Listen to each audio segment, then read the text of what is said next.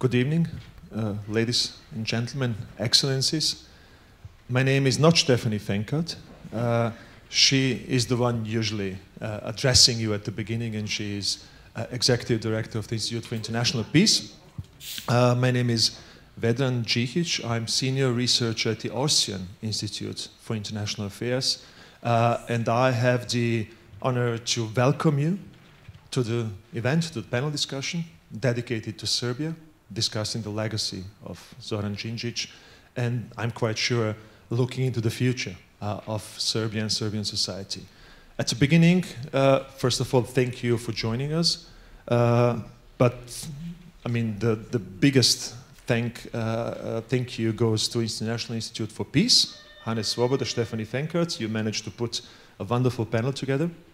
Thanks to Renner Institute, who since years has supported and has been supporting the Western Balkan activities of the International Institute for Peace, uh, and together with OIIP and Renner Institute and EIP, we managed a lot in the last uh, few years. Uh, before I turn to Luka Cekic, who is going to be a wonderful moderator tonight, uh, he usually is a wonderful moderator and a wonderful student and colleague, just three quick notes on the topic. I just came from Belgrade last week on Thursday. Uh, was spending a few days discussing with my friends and colleagues. And my three remarks will be quick.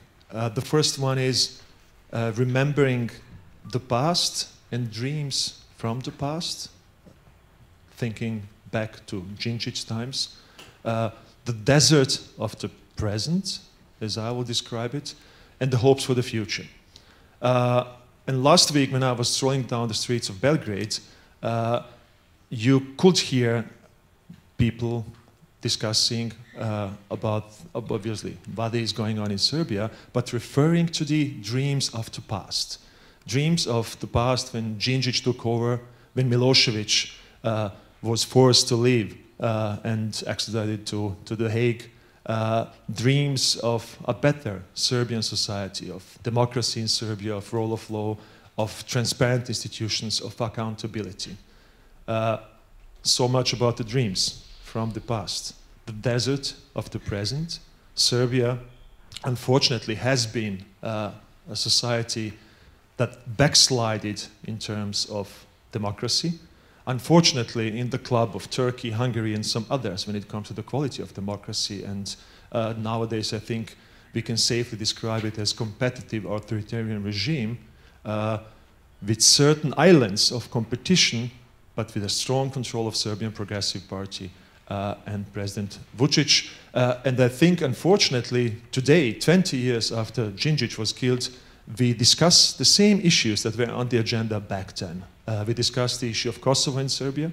Djindjic and Ivan Vejvoda is going to tell you probably uh, not only anecdotes, but a lot about uh, efforts of Djindjic to address the question. 20 years ago, two decades ago, we discussed uh, how to restart uh, the process of the European integration.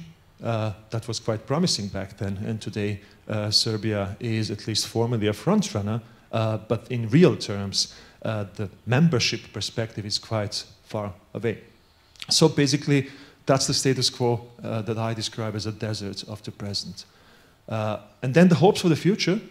I think, in, I mean, a society, every society needs a vision, uh, needs a vision, and needs to imagine itself projecting itself into the future.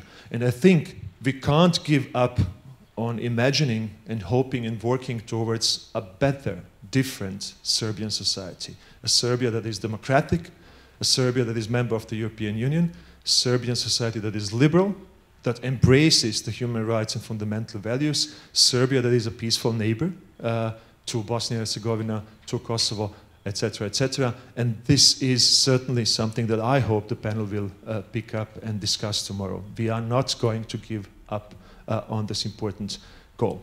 So, without further ado, you said everything.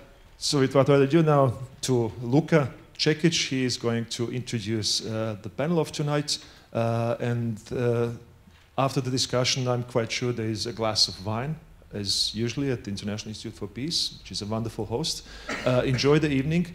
Uh, and uh, I don't have fun is probably difficult to say, but engage in discussions with this wonderful panel tonight. So, Luka, do you need the mic? No, no, it's okay. So, I would like to welcome you all at the International Institute for Peace. And again, I would like to just repeat that we are very grateful and thankful for the cooperation with the OEP and the Karl Renner Institute. Thank you very much. Um, I would like to open up this panel first, maybe via a short compilation video which we have made with uh, experts from the from Serbia, both from the political side but also from the civil society side. So maybe we can play the video and then we can proceed with the panel.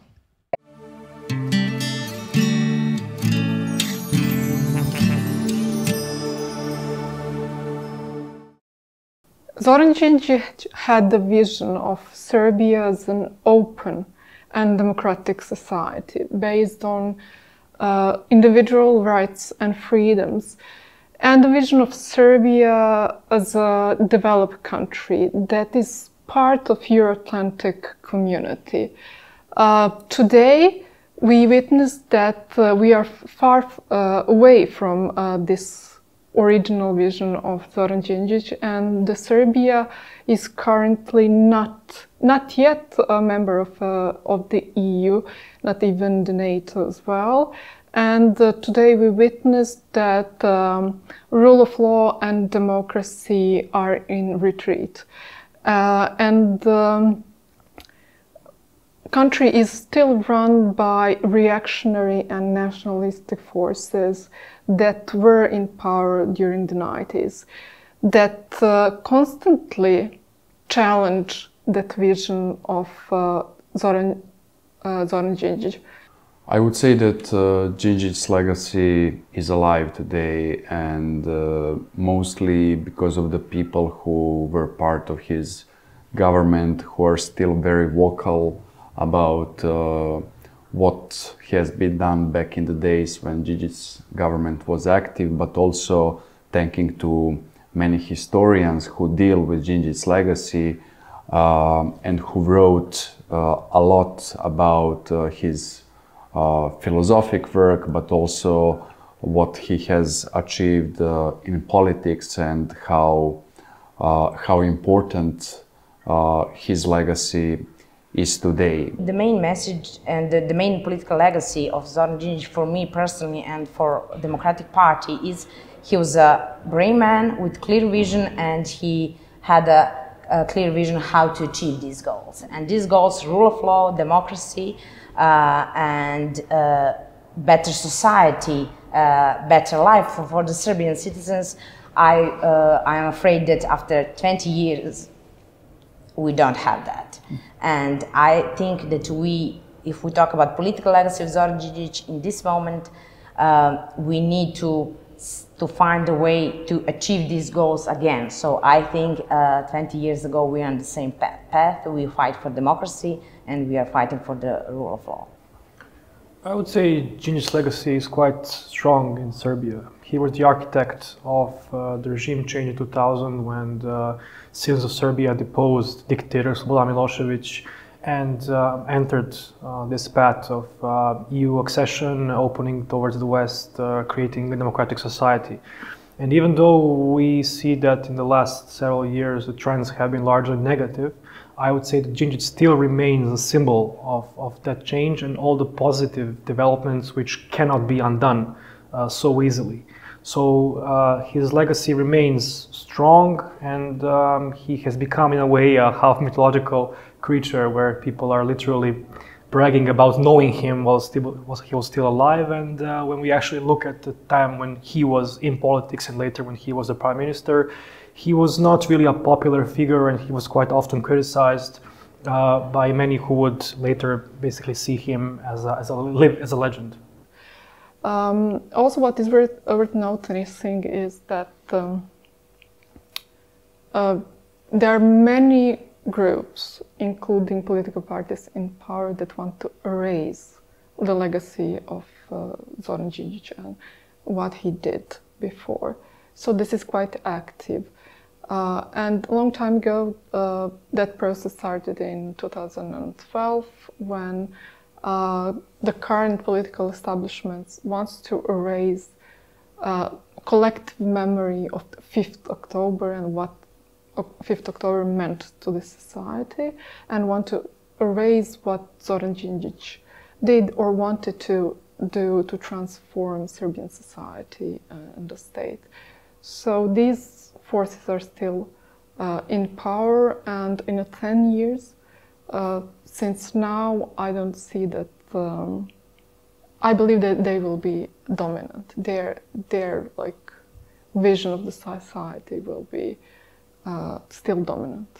I would say that media propaganda did a lot uh, to counter uh, legacy and to present him as mafia boss or someone who has been uh, engaged uh, with mafia uh, back in the days because those strong opponents of Djindjic um, their their goal is to undermine what has been done in in uh, during dur during his days and to try to uh, destroy the positive myth that has been created around Djindjic. So, despite uh, several negative trends, um, legacy cannot be undermined so easily. Uh, some of the things that have been achieved in 2000 um, are simply irreversible. Serbia is now a country which is at least formally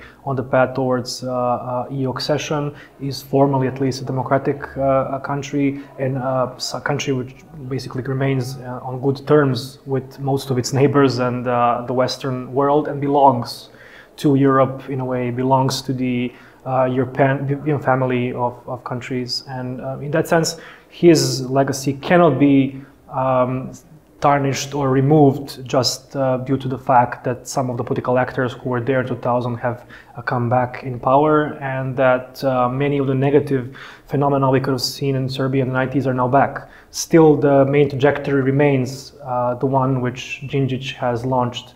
Uh, not only him, of course, but he was I would say, uh, not only a former leader of the democratic opposition of Serbia, but also a person who is a, a symbol of, of that change. After 20 years, uh, you have so many groups uh, and parties who tried to, uh, to, to own this political legacy of uh, Zoran Djindjic, and that's a problem. And you have a very, very bad interpretation and uh, unsuccessful interpretation of political uh, legacy of Zoran Djindjic. And I think the best proof of that is to see Serbian society today. Uh, we are now in the National Assembly of Republic of Serbia. Uh, you, you cannot do that, but if you can to go in and to, to see the debate that we have in the parliament, you will have a clear picture. We don't have real debate. We don't have we don't uh, have democratic procedures. We don't have uh, opposition. Uh, don't have any right to reply to the to the to the uh, to the uh, to the um, representatives of ruling of ruling party. So 20 years after, we are still on the same path, and we didn't achieve the goal that Zoran Djindjic uh, has as a vision, and that's democracy, rule of law, and Serbia in the European Union. New leaders um, in in our society that promote that vision and values of Zoran Djindjic uh, are no longer only those that we knew uh, before, such as Democratic Party of Serbia. I believe that that new leaders that want to change uh, the society and improve um, the society are those who are coming from ecological movements, for, from different civic movements uh, that we have seen at the local level, but also uh, in Belgrade. But um, those are the like new mm-hmm. new leaders, but uh, they need to gain uh, more popular popular vote, they need to gain more strength uh, in order to become more vocal and more dominant uh, power in, in the society. What we lack since 2003 is that energy in politics and the willingness to do things and to finish some processes and to be aware of the importance of the historic momentum to do something. I think that Djindjic was very aware of his responsibility to do things and to make changes back in the days. But uh, I haven't seen a politician after him uh, with such approach, with sense of historic momentum uh, to do something. I'm afraid that this generation, people who have 18, 20 or 25 years, you know, uh, they they don't have this alive memory of him, and I think that's a, that's a very big problem.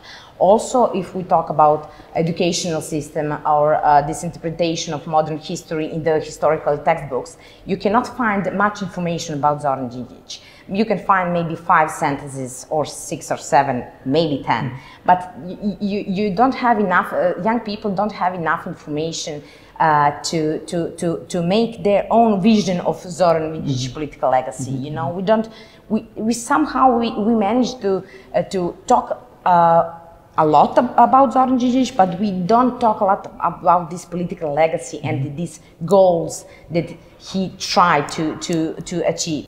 I believe that young people cannot really comprehend the role of Zoran Djindjic in Serbian politics because uh, the revolution of the 5th October 2000 has been painted uh, in the public discourse in the last several years as a negative, uh, as something negative, something which was basically about stealing chairs from the parliament and not removing an authoritarian regime. Uh, there is now this narrative that actually the 90s were a period of uh, prosperity and that the crisis began after Milosevic was removed and after Djindjic became prime minister, and then that this basically negative trajectory lasted until 2012. In this narrative, it is impossible to understand the importance of the revolution of 5th October 2000, and impossible to understand what did Djindjic mean for Serbia in only these uh, two, uh, a bit more than two very brief years while he was the prime minister of Serbia. Uh, Serbia is in the process of um, uh, EU integration, uh, but in practice we are far away from uh, becoming mm. a full-fledged EU member. So there is a lot of work to be done, uh, and uh, we need more of like democratic leaders uh, with that vision of Zoran Djindjic that will lead to not only for Serbia to become a developed country, but democratized and modernized uh, as a society. Uh, but today uh, we've seen that uh, there are a lot of reactionary forces, including the right-wing groups and the church, that is opposing to that uh, uh, different vision that uh, Djindjic had. And they promote more collective values and collective identity that contrary to what uh, Zoran Djindjic actually promoted. Actually, we are we need to some to have some kind of revitalization of political goals and political agenda that Zoran Djindjic achieved, and the Democratic Party is uh, very strongly dedicated to that. Serbia will hopefully become a member of the EU and will. Uh, uh define its foreign policy that is oriented towards the West rather than the East. So I really see that Serbia is not an ally of Russia today, uh, even though many try to to put it that Serbia is um, a loyal ally of Russia in the Balkans, which I believe it's not true. And secondly, I, I think that Serbia will recognize the momentum or Serbian political elites, the importance of this momentum to be on the positive side of history. Uh, and if you look the 20th century Serbia in two world wars was on the positive side. So I believe that it will be the case today as well.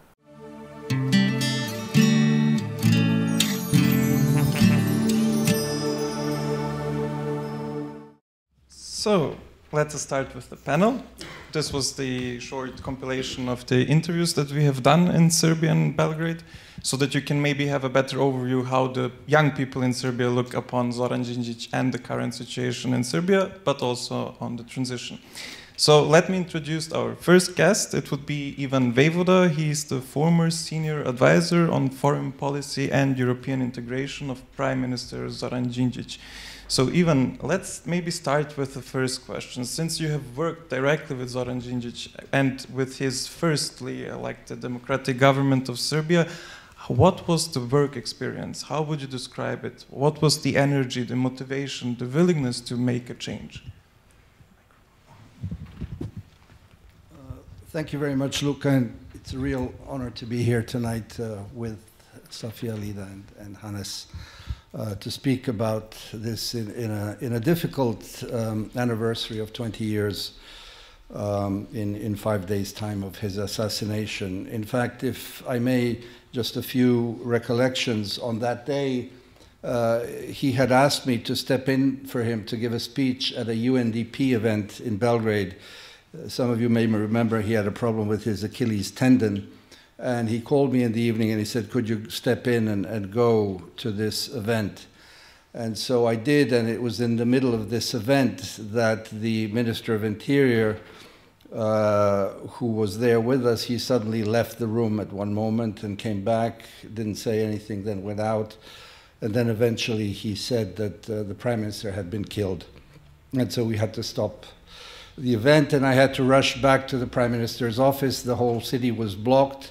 And because I had my pass from the Prime Minister's office, the policeman stopped me, saw my pass, and, and most of them were crying, uh, realizing that this was a, a, an extremely difficult moment. And on the day of the, of the funeral, you, and I say this for a reason, on the day of the funeral, there were, there were more than half a million people following the, the coffin. I say this because there were very many people criticizing uh, Prime Minister Djindjic and people from kind of our liberal democratic circles that he was too pragmatic, he was dealing with left and right, and really not following a very kind of strict uh, ideological line, only to realize, of course, that he was fully on the right course. And I may add that when he called me to join him, some of my friends said, Are you sure you want to join him? Are you sure that you know, he is going in the right direction? I said, Absolutely, I'm sure. And if I feel that he is veering off the course, I will, I will leave. Uh, in 2000, uh, after the changes, he offered me to be ambassador in Washington for Serbia, and I refused. And he was very surprised, and I said, and he said, "Why, why don't you want to be ambassador?" I said, "Look, I want to be part of the change, of the democratic change. We've wasted 10 horrible, catastrophic years of Milosevic's regime. We have fallen behind, and I want to be part of this effort. And it is only later than in 2002 when he called me to be uh, his advisor. Uh, I was then working for the Soros Foundation, the Fund for an Open Society Yugoslavia, and his secretary called me and said, The Prime Minister wants to see you. And I said, So what, next week, in 10 days? He said, Now. You have to take a taxi and come now. He wants you now. Okay, so I sat in a taxi, I went there. This is just to give you a flavor of the energy that everyone talked about. And I came to his office, and Žarko Korać, whom some of you may know, who was the deputy prime minister, uh, was there, and Zoran said, Come in. And literally, all the meetings that you had with him would last 10 or 15 minutes. I mean, it was never, there was no wasting of time with Zoran drinking coffee endlessly and uh, gossiping and, that. And uh, so I said, why, why do you want me? He said, I want you to be my advisor. I said, why is that? He said, there's so much pressure on the prime minister's office. And that is because the international community had realized that Kostunica, the president of the country uh, and the prime minister were completely on different lines. And so the interest in Kostunica fell. There was huge interest on Prime Minister uh, Djindjic, and he said, I need someone to deal with all these uh, delegations, ambassadors that are visiting. I said, so what do I do? He, he, his words were literally, you speak in my name. And I said, that's it. He said, that's it. And so I began literally a, a week later uh, working for him the energy uh, and, and to summarize what he wanted, he knew that we had lost uh, momentum, that uh, we were uh, in a great hurry to catch up on two fronts, on the political and the economic, which needs to be underscored. On the political, it was we need to deal with the Hague Tribunal and all the indictees as quickly as possible, and secondly, with Kosovo. He came in every day in the office and he repeated that this was of the essence. Kosovo, because this was the uh, impediment to Serbia's democratic uh, development. And I remember a week before he was killed, we had a meeting with the Friedrich Ebert delegation that came from Berlin, and I remember Gerd Weiskirchen was there, and he took two hours to explain what his policies were. And he said, among other things, I'm reading Serbian history very thoroughly, and many people can confirm that. And he said, every time I see that Serbia is about to make a step uh, towards democracy, somebody says Kosovo.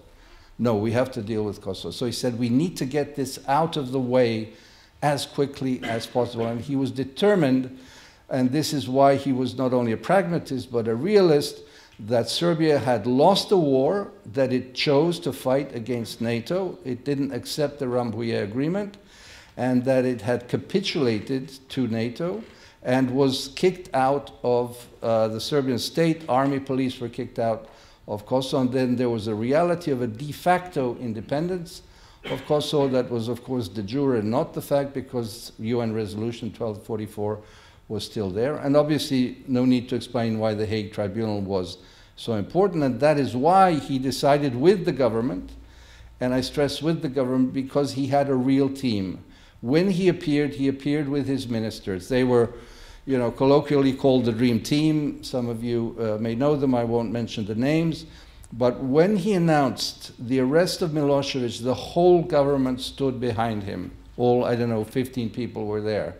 That is very important because there was a sense of purpose, of needing to confront the difficult challenges that Serbia had missed during the 90s of, I repeat, the catastrophic regime of Milosevic. And there has been this revisionism, as some, some have, have mentioned.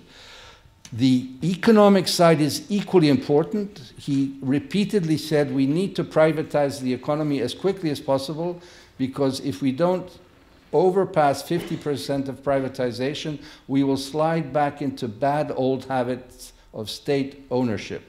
So a lot of his effort was put in that direction. And uh, so he didn't, uh, he didn't uh, spare himself to go out to the people, to society, and take his message. On a trip that we did to Brussels, uh, to the European Union in November of 2002, there was a meeting of the Business Council of the Stability Pact for Southeastern Europe today, South, uh, uh, the Regional Cooperation Council, which was led by someone whom you all know, Erhard Busek. And Erhard introduced him, and Djindjic gave a big speech on the importance of regional cooperation. And the sentence that stuck with me, he said, we are only, we as individual countries, are only relevant in the world economy as a region of 50 million people, whereby, of course, he included Romania, Bulgaria, and Greece. And so he was convinced that we have to work regionally to uh, reestablish ties with all the neighboring countries uh, that were part of the Yugoslav wars. And he did a lot in that direction, but also in, in the neighborhood uh, with, with Hungary, with Romania, with Bulgaria, and others, and obviously with the US and uh, with the European Union. He made a trip to the United States, and then he wrote a few months before his death, letters to the leaders of the world about the need to resolve the Kosovo issue because there was resistance. People were saying it's not time, and he was convinced that it was too late already to go in that direction. The result, of course, of the assassination, and needless to say, we need to repeat it, he was killed by the remnants of the Serbian state, of Milosevic's state, of the police forces. All these people who are serving long-term prison sentences of 40 years uh, were all members of the secret services, of the uh, intelligence services, and of the police. And that is, I think, something that we need to, to remember. And thus, that was one of the reasons why people were surprised because he had made a deal with some of these people on October 5th because he wanted to avoid bloodshed. In that regard, he was the pragmatist that he was, and he was ready to speak proverbially to the devil.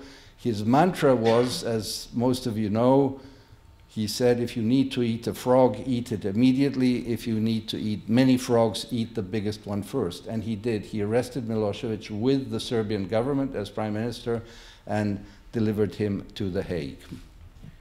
Thank you, Ivan, very much for this interesting introduction and for this elaboration of how it was actually back in the days with, with his government and what were the main points of his political side and government. So let's now uh, go to Sofija Mandic. Sofija Mandic is a lawyer and human activist in Belgrade, and she is working at the Judicial, Judicial uh, Research Center in Belgrade.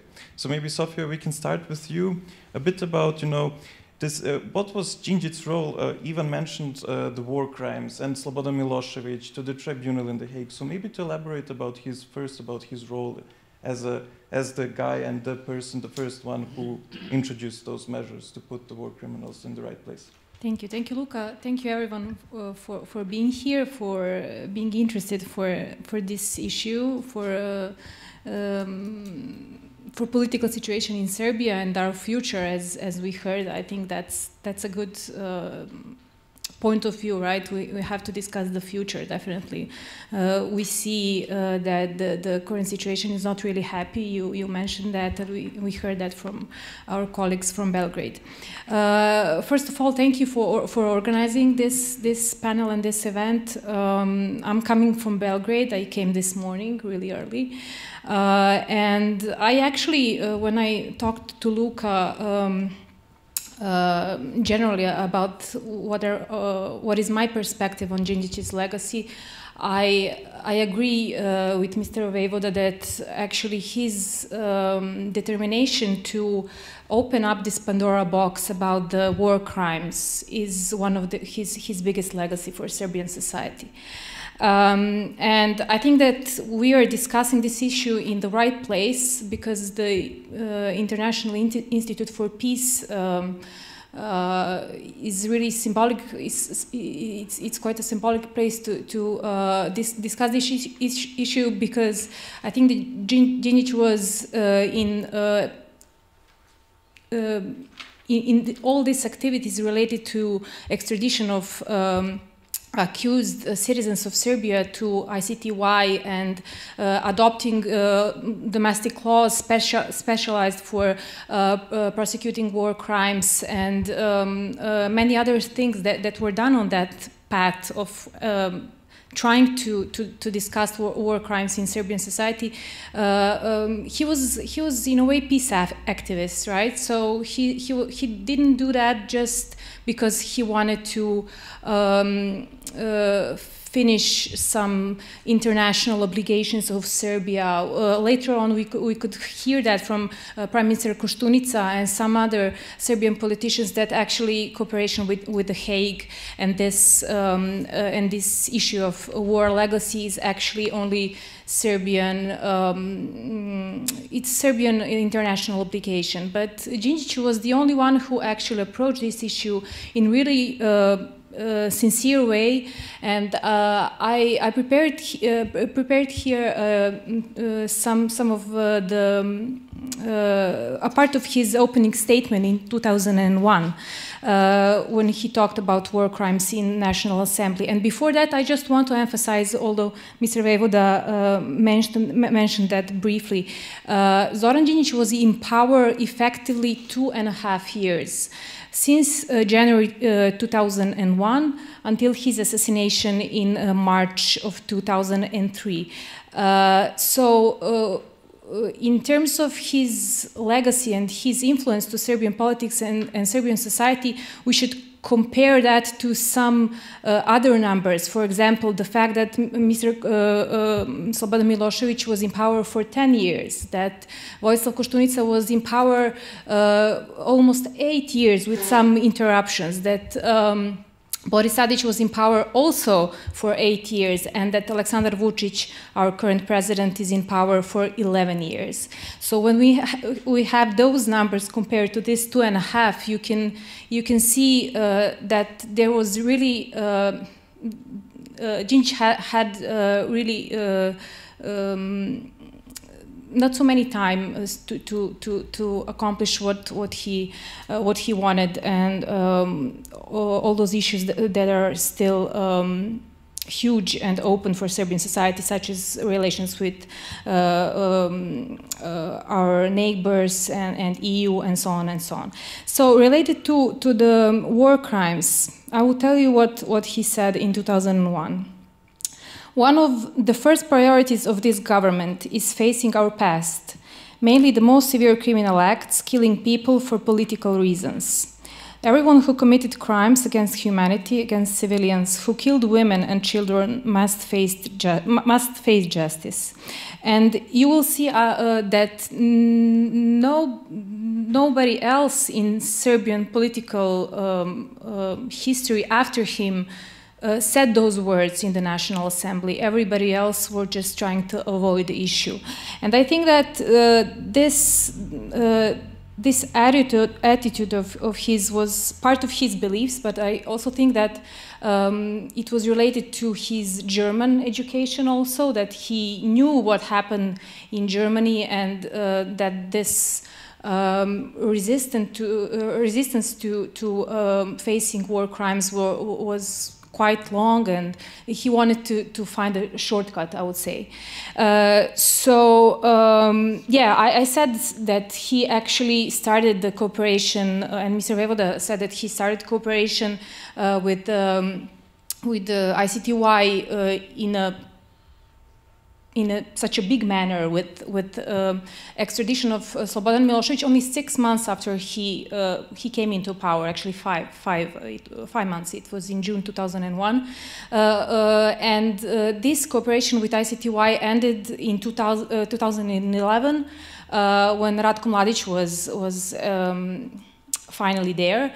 Uh, and uh, as you can see, uh, Djindjic started this, he was killed in 2003, but this, this process was still going on.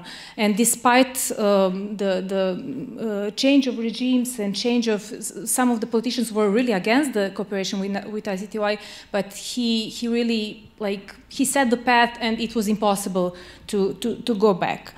Uh, and except uh, this huge legacy that I, I will, uh, I think it will, um, that in the, in the future and maybe now after 20 years we can maybe see a little bit more how important it was and I think it will be more and more important, important in the future. I will say just maybe a few more words about uh, Zoran Djindjic um, as I see him. Uh, I was in high school when he was killed, and of course, uh, as many other Serbians, I know the place where I was, as, as you know. Uh, I was preparing to go to school uh, on that day. Uh, so, who was he? I think he was uh, a deep thinker, a, a, really rare person who is a deep thinker on philosophical level, on sociological level, on political level, but still so operational, so pragmatic, so so so um, able to organize people and to motivate them. I think this is really really rare in politics, not only in Serbia but generally worldwide. Um, I think he and in Serbia there is a saying also that he's still the livest Serbian uh, politician, although he's not physically alive for 20 years. So he's that, that's how people perceive him, I, uh, and I would, I would agree with that. Uh, and uh, I think that he's also, uh, so he was a deep thinker, but he had uh, this ability to see ahead and uh, I was really surprised when I saw that uh, in 1988, I think in, his, in one of his books that he wrote be before he entered the politics, he, for example, said for Yugoslavia that, he, that the Yugoslavia is a candle burning on both ends. On one end is the nationalism, so the nationalism is eating Yugoslavia, and on the other side, it's this really strict, uh, non-democratic regime, uh, um, which is actually uh, not, not, not, not giving people uh, political freedoms. So, and of course, just, just a few years later, we know what happened and uh, where this, um, this characteristics of, of, Yugoslavia led. So, to conclude, um, I hope you will have some, some questions. Um, I think I would be more positive than my colleagues from Belgrade. Um, uh, of course, I don't see uh, some uh, some happy uh, political moments right now in Serbia, but I think that the new political generation, not only in partisan terms, but new political generation in, in terms of society, I'm, I'm, talking about my generation and people between, for example, 30, 35 and 50, let's say so. I think they would be, uh, that they're, they're ready to like, they're ready to take back, take back that, that path that was violently uh, um, uh, it was it was stopped violently in, in, in 2003 and I personally see in my country and in my city more people of new political generation that are ready to follow that path more than some other nationalistic or or um, uh, path uh, that, that we already tried with with Alexander Vucic also.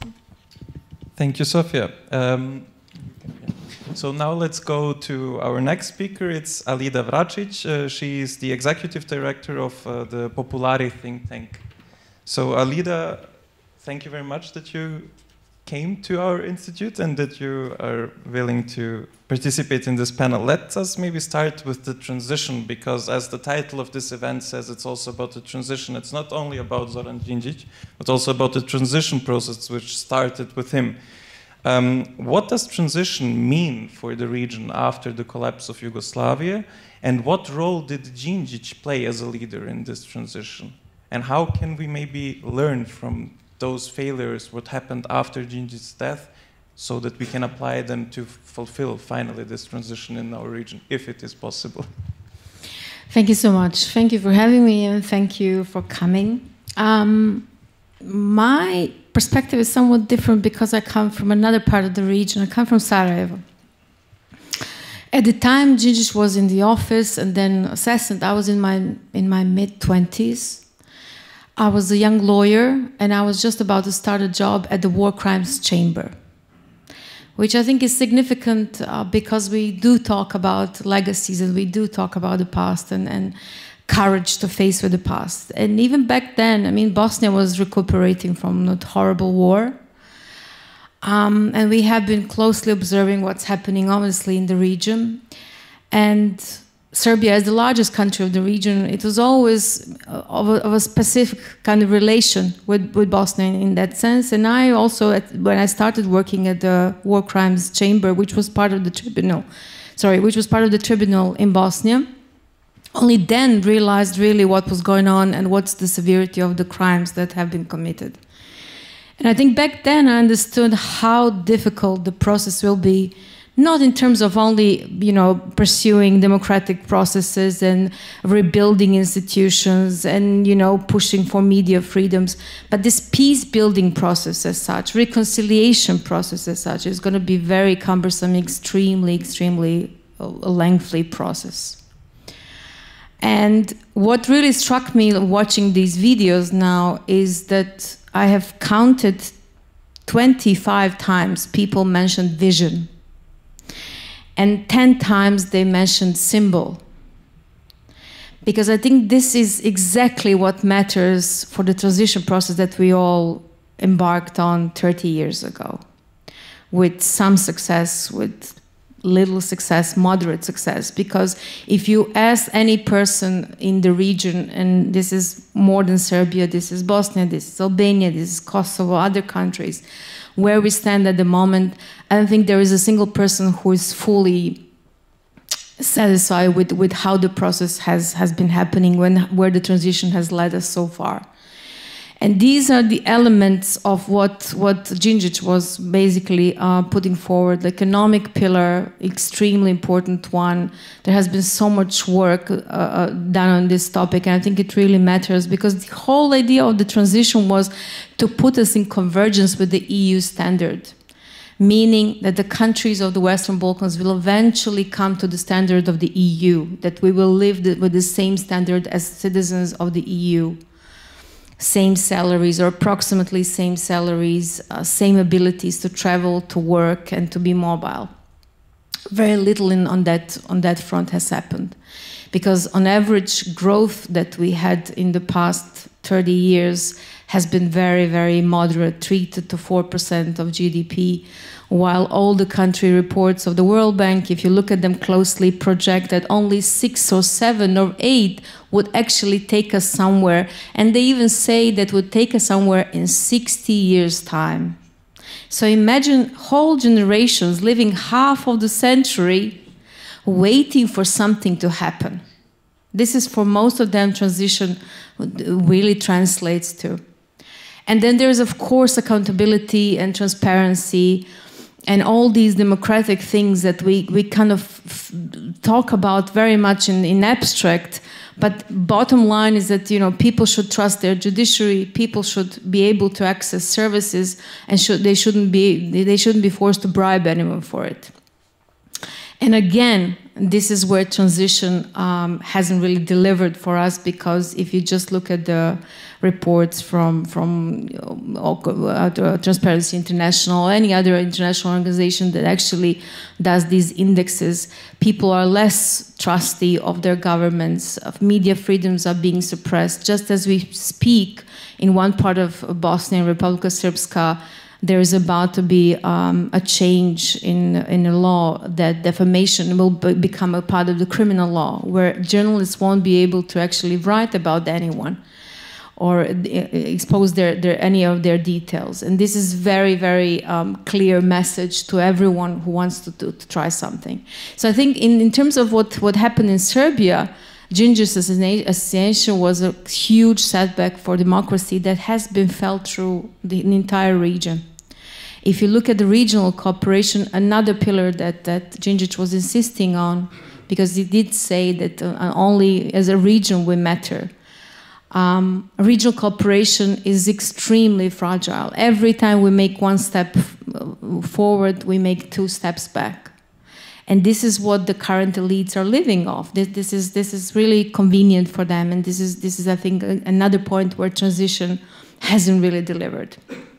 We can talk about how that can be changed. We can talk about the factors that that uh, that basically influenced uh, such such slow progress. Uh, partly it has been because the European Union has been uh, very much uh, sort of all over the place and and and often changing the rules, but also there were crises. There was an economic crisis, there was a refugee crisis, there was COVID. There were so many things that actually were interrupting this transitional path that, that the, the region has, um, has been experiencing. At the same time, within the European Union, you have countries that are very much, uh, very much disturbing factors on its way. And of course, in that constellation, you have other countries coming into the coming into the uh, into the place. Russia, Turkey, Gulf states, um, you know, there, there are other actors that are interested in the region, but not in the same way with the same vision that we're, we're discussing here. So I guess to conclude, it's, it's, it's really about the it's about the desert, but less of a desert, but this third step with, with what, what happens next. Because none of us can live in the future. We live only now and we can perceive only now. But we can set our goals. I mean, no project is successful without an exit plan. So we need to set a goal. We need to have that vision. We need to change our language. We need to change our model of working. We need to offer a, a, clear roadmap for people in the region um, in order to in order for them to stay even.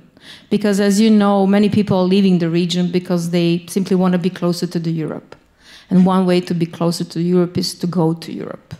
And the other option is to wait endlessly and you really don't know what the game plan is. So we need to change something and that something um, really needs another visionary, another Djindjic, another, you know, every single country in the region, I would argue, had that momentum. I remember Bosnia, that is always perceived as a failed state. If you look at the Twitter today, yesterday, 10 days ago, Bosnia is always on the verge of new conflict, apparently. Um, but I remember times, and they, they were the, the approximately same times in 2000, early 2000, when Bosnia was on a good, on a good path. There were really visionaries in the office.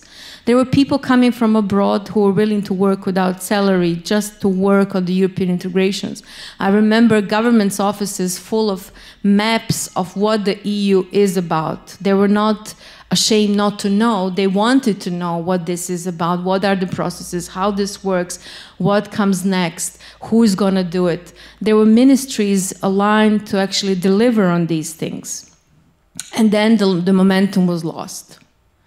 And every country, if you look at it very carefully, probably had this momentum. So it's, it's really up to us how to to, to, to sort of rethink this a little bit, maybe even philosophically, but more of a you know, to, to, from, a, from a point of, of mm, crafting a clear roadmap of how to revive this legacy, how to revive these important pillars, and how to basically move ahead. Thank you so much. Thank you, Alida. Um, let's proceed with Hannes Swoboda. Hannes Swoboda is the president of the International Institute for Peace, but he was also for many, many years a member of the European Parliament and the president of the Social Democrats in the European Parliament.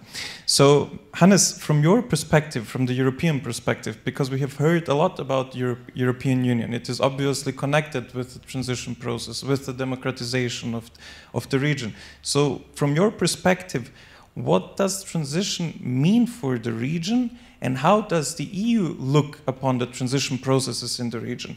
Because it seems to me and to, to other people also that many would say, especially in Serbia, the EU kind of makes it take on the stabilocracy and not on the democracy. So maybe to elaborate a bit on this. Yes, thank you very much. Uh, thank you very much, Luka, for organizing and bringing people here together and also the interviews. Um, I think this is a, a very important subject, and I still don't have enough answers or um, could not lead the way out. When I joined the European Parliament in, in 96, in beginning from 97, I was vice chair of the South uh, delegation for South Eastern Europe. The first visit was by chance uh, in spring uh, 97 to Kosovo, where I saw not only somebody who has been just uh, brought dead from the prison, but also met the Serb uh, representatives. And they saw that the Kosovo will never be solved by the Serb authorities of that time. And later we met uh, people from Otpor, of the Student Revolution, B92, and others and we were very hopeful that this revolution, this transition will take place. When we met uh, the first time uh, Mr. Kostunica, our hope was very much damped uh, because we saw that this is a difference to Milosevic, whom I never met, uh, thankfully, but it was not the big step forward we expected. And uh, very soon, I think one of the big mistakes has been also on the media sector. Very soon we saw that the different media have been purchased by European uh, magnates uh, and uh, were going not in the direction of democracy, democratic media, democratic opinion, but very much on, on the way of just earning some money, going to the um, side of uh, the boulevard and not bringing from the media sector at least on contribution to democracy and so on. Now later, of course, when we met uh, it was much, uh, you know, to our to our joy that there was somebody who really had an interest. Of course, he had to respect the national interest. He was a national, uh, was a politician of Serbia. Uh, but he had to fight with many internal opposition, as you mentioned. I met him the last time in, in Brussels. We went to the cafeteria in European Parliament. Maybe it was on the November day, what, what you mentioned. I don't know if this was the last visit. But um, he was quite tired. And he told me why he was tired. Of course, you know, if you're, if you're prime minister and go back and forth on all the trips, but it was also this opposition in the country he felt against it. Because at that time, for me, there were, of course, the old uh, Milosevic guys, you mentioned them.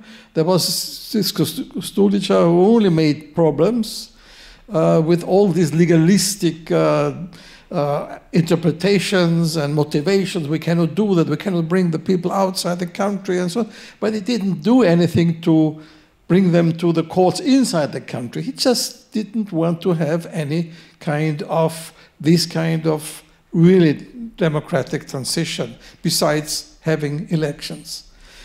Um, and of course, with killing um, um, many of the hopes were killed, and the transition towards democracy was at least um, interrupted. It's uh, read and mentioned of different other countries. It's interesting. Tomorrow I go to, to Hungary to a, a conference on, on, the, on the Western Balkans, another country where revolution or dem democratic transition was just interrupted. By chance, I travel a lot now. Um, on Saturday, I go to Tunisia when the same thing happened.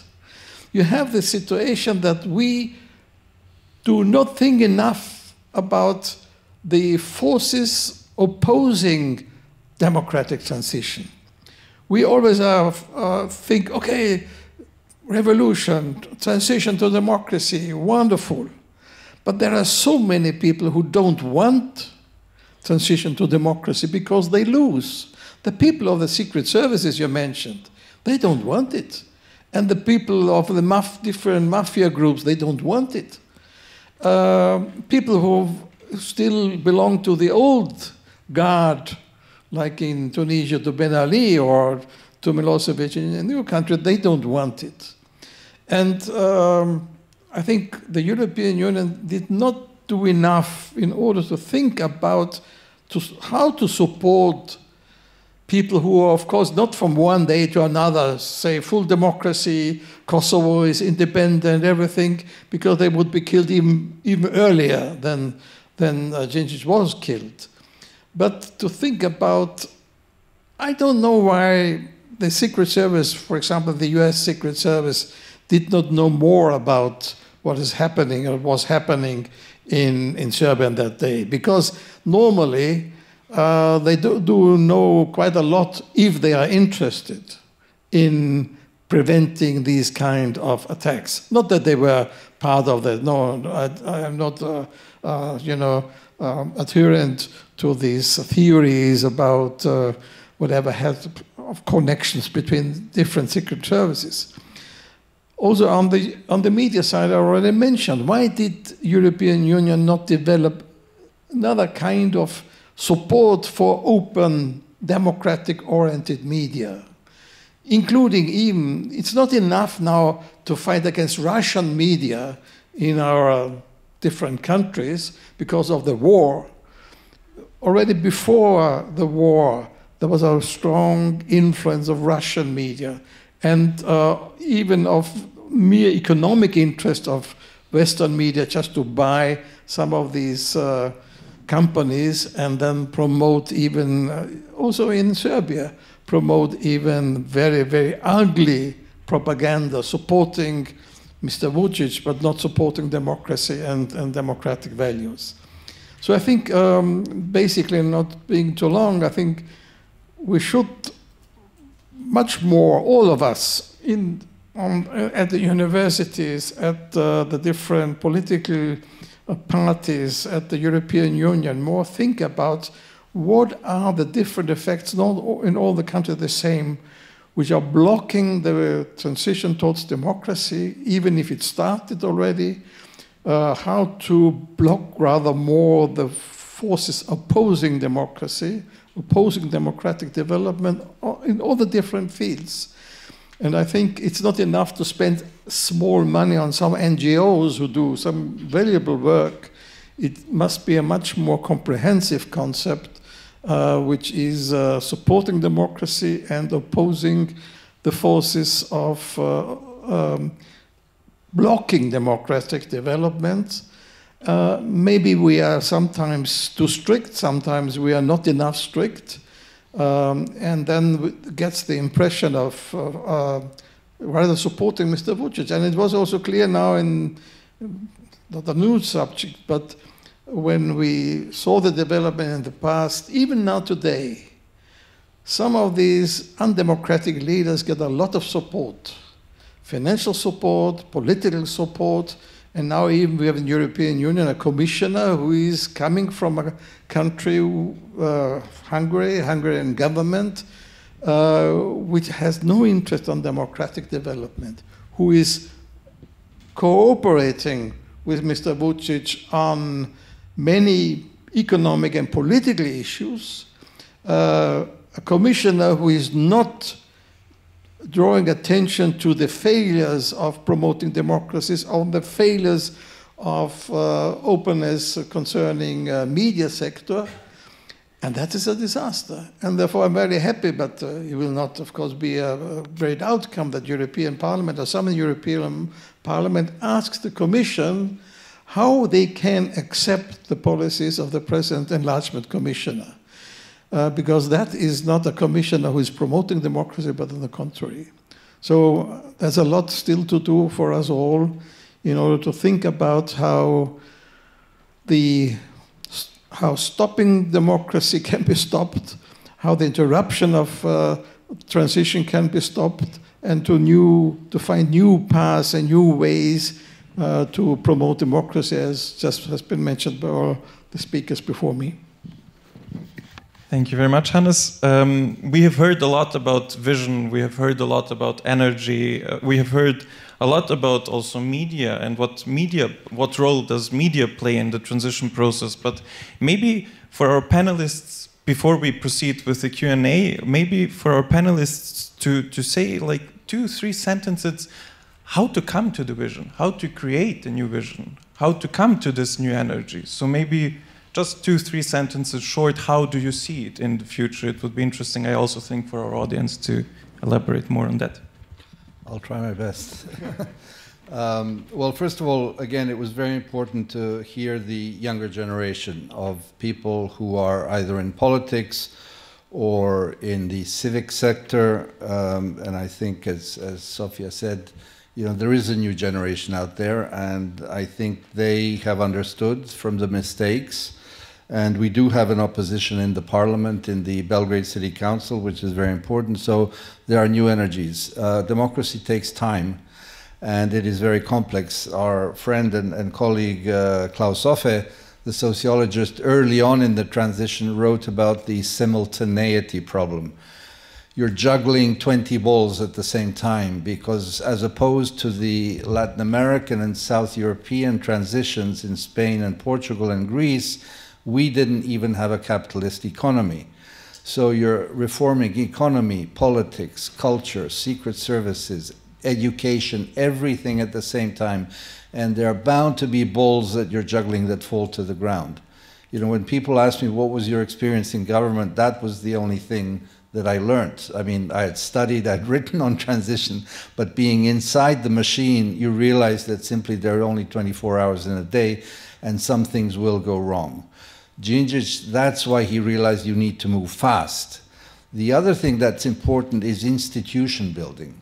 He was well aware that trying to build democratic institutions, the division of powers, checks and balances are very important. That's where the backsliding in our countries and in my country, Serbia, has happened. There's been an erosion of institutional democratic life. Hopefully, now with the parliament and these things, we're slowly regaining some of that. The media are crucial because pluralism is the name of the democratic game. One, respect for the opposition, that's a key tenet of democracy, and unfortunately, we don't see very much of that. And secondly, you need to have an open media space so that people are confronted with a variety of views on things. And so it is in that plurality of views that the vision occurs you need not go back to Machiavelli to understand that the society is conflict, and conflict in a positive sense, the confrontation of views. And if you don't have that, if you have a monologue, if you have an overwhelming presence of one point of view, I think society is it's difficult to move to move forward. Thank you very much, Sofija. Uh, well, Well, I would agree with Mr. Vejvoda on everything, and uh, I would just maybe it's answer to your question, but also comment to what Mr. Swoboda said and um, uh, about opposing democratization. Uh, definitely, it's. I just want to say that it's not so bad as it seems from the outside.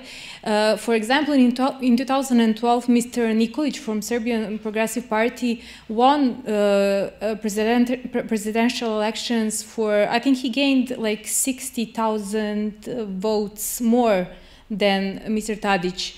So it's less than one uh, vote per polling station, for example. So Serbia is more of a victim of, of its own citizens' apathy at some some uh, historical moments. Uh, and th that, that, historical moment, I think, it, it was also related to Zoran Djindjic, who, who didn't gain enough support when he needed that support. So I think that's that's our problem that we should deal with. Like when we have the chance, we, we should grab that chance. And uh, I think those retrograde uh, or um, um, uh, anti-modernization or anti-democracy forces in Serbia, they, they, are existing, but they're not so powerful as they seem from the outside. It's just the fact that the ruling party now, uh, as I said, they're, they're 11 years in power, they grabbed the media, they grabbed the elections. Elections are not free anymore. So they're controlling those pro processes and then they're waving the, with their results and saying like, ha, we have 60% of support. That's not the case. That's not the, the, the, the true, uh, the true will of the people. So I think that uh, uh, things are much simpler than they, they seem. Uh, I really believe uh, that that the old generation of politicians, I mean, uh, Vucic, I mean Dacic, I, I, I, mean all of the politicians who were in power during 90s, they cannot bring change. And I think that EU is mistaking, uh, actually making a huge mistake and made a huge mistake when they decided uh, that they will believe the old guys will bring the change, right? So I think it's, it's actually the solution is related to biology a little bit. So they have to leave, and the new people have to come. And the new people are much smarter. And as Mr. Vejvoda said, uh, we we were witnessing a lot of history. In like, I was born in 1986, and I saw too much stuff for my yeah yeah i mean and the bombing and the killing of uh, mr Djindjic and all that like too much history for for my 36 years so i think we learned a lot and um, i think the future is is bright brighter than it seems right now well that's yeah. a positive note so let's proceed with the leader um, I mean, this is a one million dollar question, right? Um, that you're asking how how how one moves on and how what's what's the silver lining? I think it's it's a it's it's double faceted basically. Um, on one hand, we need to make sure that the EU understands that poor countries and people living in poverty cannot think about democracy. So we need to make sure that we um, catch up in a way with the European um, sort of economic train. That's the first thing. Second thing is that power really truly can come within. And what I mean by that is that people are able to exert this pressure um, and put pressure on politicians. We have seen that a couple of times. And when they have a clear goal, when they know what's at stake, when they know what they can gain, they really can mobilize around that. And it's not, you know, some generation, but throughout generations. Um, I think we need to change the language. It's just we, we, we speak in, in terms that are just elusive. They're not easy, easy to understand. They're not um, easy to pin. They're not easy to, to, to sort of translate into something concrete. And when I say we, I mean European um, European countries often speak very very uh, difficult languages with with the accession countries. Also, we should definitely put um, future into the hands of young people, but not But we should, be careful about that too, because we have seen generations of young people in the Western Balkans that are not necessarily different from what we have seen before. They're actually really carbon copies of those that we have seen before, even if not more radical. So it's not as simple. Um, and I mean, again, we need to find um, where, where we want to where what we want to achieve and when we want to do it. I mean this is all about exit strategies. This is about the i, I mentioned it at the beginning and i'm going to mention it again. No good project without exit strategy uh, has ever been seen in, in any of the of development world so unless you know what you want, I mean, a good example is the Office of the High Representative in Bosnia, which is a horrible example, but it's in, in, in this way is a good example. That is one thing without any exit strategy. And it perpetuates itself, it creates problems uh, uh further on, and, and we're talking about 20 plus years now. And if we continue that way, I mean, with, with other things that we're doing, with all the democratic processes that we're interested in, I think we're, we're just doomed. So we need to find a somewhat more clear path and give give opportunity to those that we haven't heard before, that are not necessarily in our circles, because we often assume how they feel and how they think, and we're often very afraid of conflicts and other sort of opinions and and, and worldviews, but we shouldn't be really. Thank you. Thank you, Lida. Hannes. Yeah, very briefly, I think what you mentioned about the apathy, that's a, that, that's a very important issue. We saw it also not only in countries like uh, Serbia, but in Britain, the vote on, on Brexit was the result also of apathy, apathy especially also of young people. So I'm a bit in between you two with the skepticism. I'm not so sure that the young automatically uh, will turn around uh, the course of the different countries. But of course, they have to have the chance. The real issue is how to, to bring more positive emotion into, into their life in order to be able to change something.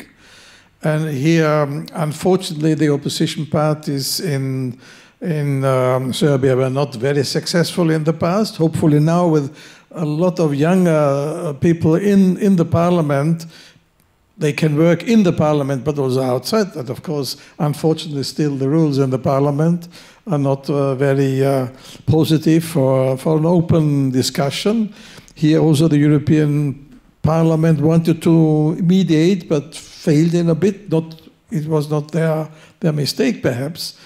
So I think uh, very important is in our democracy and uh, for promoting democracy to overcome the apathy of many people who see, well, they are just quarreling. I don't care and about what they do. I just do my job and that's it. At the end, maybe they cannot even do their job because the economy, economy or the whole political development is going in the wrong direction. Thank you, Hannes. So now I would like to proceed to the Q&A and to the questions from the audience. I hope that there are many questions from the audience since it is a really interesting topic. So please don't be shy and raise your hand. Let's, let's start with Dennis. Uh, it's on. Good evening. Uh, my name is Dennis Miskic. I'm a journalist for the Austrian daily Kurier. And um, reading the news this morning, I found out Dusan Krsmanovic, one of the people involved in the assassination, was released from prison today. And I couldn't help but take this symbolically and kind of ask myself what is not what is left of Djindjic's legacy. I mean, we've been discussing this now for the past hour, but who right now in Serbia is truly representing the democratic spirit and, and vision he had back in the early 2000s. And considering, I mean, the undermining of dem democratic institutions that has been going on over the past decade, really, um, what real chances would a politician like Djindjic back then have in today's Serbia? Thank you. Thank you. Let's proceed with the gentleman. Well, concerning the hope uh, set into the youth, um, I remember these groups um, which were mentioned, like Otpor or B92 or the Center for Political Decontamination or so. So it would be interesting for me uh, what happened to this generation, to these people, these maybe few hundred or thousand people who were active in this uh, in the, the early years of the new um, century? Uh, can, can you give a kind of collective biography of, of these people? Are, have they left the country? Did they stay? If they stay, what are they doing? Thank you. Let's collect some more questions. Yes? Uh, Krachenberg, Institute of the Danube region. Um, uh, Mr. Swoboda, you mentioned uh, uh, that uh, uh, Russia was much more effective in, in influencing media and so on, and the EU is not so active. Is there any movement now, finally, in, in the European Union Commission to have more openness to, to trying inf to influence um, not only governments but also the people, and in what way possibly? Thank you. Yes, lady. Um, regarding economy, economy, uh, which configurations would um, support developments towards democracy, towards uh, a good relation to the European Union, uh, getting into each other. Um, would it be necessary to loosen the relationships to Chinese and Russian companies. What Thank you very much. Let's start here. Um, yes, uh, thank you. Uh, a very interesting debate uh, today, um, but I wanted to take up the word about reconciliation. And I think uh, it may be a part of the democratization process, but I see for the time being that it is really stuck whether Djindjic himself would be a good model for uh, a process of reconciliation, I'm not so sure, but that is another question. But I would like to hear from you, because I think without reconciliation, uh, also democratization will not really be possible. Let's maybe stop here for a second and then we proceed with the second round of the questions. So let's start with the first question about the suspect which was released today from prison after 20 years of having spent in prison. He was one of the of the suspects who was uh, detained for, for the assassination which happened 20 years ago. So maybe let's start with Sofija, I assume. Yeah, uh, I think it's Dusan uh, Krsmanovic, and he was uh, he was a helper to the main perpetrators.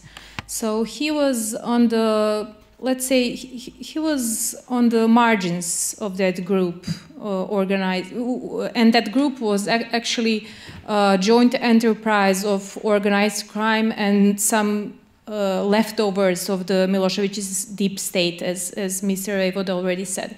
So uh, I wouldn't be so um, uh, worried about his release because, as I said, he was on the margins of the of the group, and his sentence was was um, not so long as other other gained 35, 40 years of of prison. And the interesting thing is that actually my professional journey in a way uh, started um, uh, by following that trial in special uh, chamber of uh, higher court in Belgrade. And I uh, met Ser uh, Srdja Popovic the mm, lawyer of Djindjic's family there. And he was actually my first mentor in my professional life. So I, I, remember quite well of the process. And don't be worried about his release. Maybe some dates can be like suspicious, like why now, why why today, but it's it's not a big issue in terms of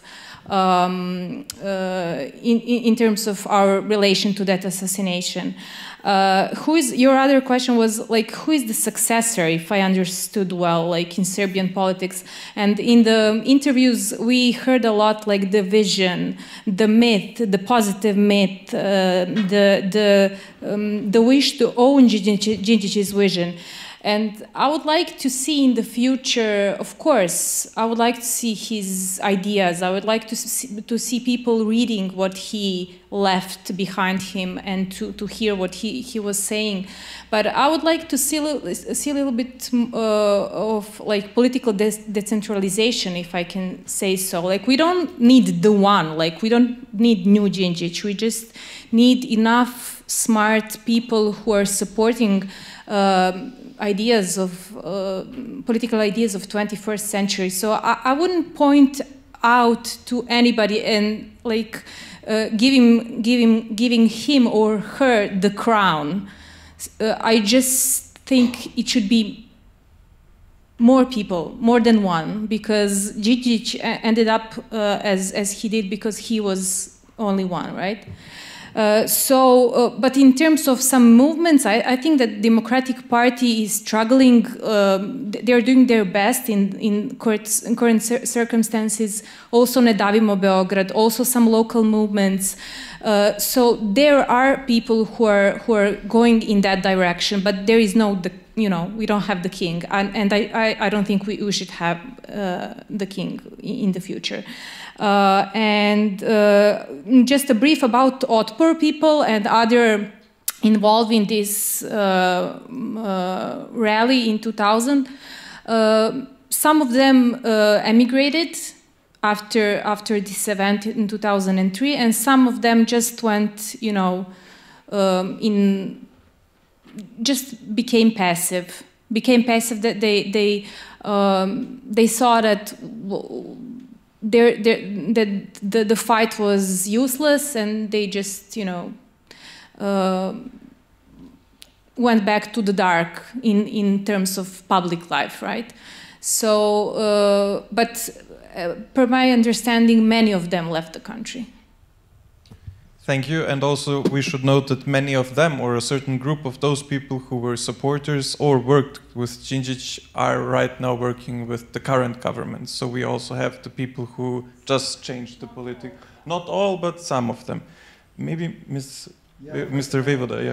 Add a few things to what uh, Sofija um, said. Please grab the mic.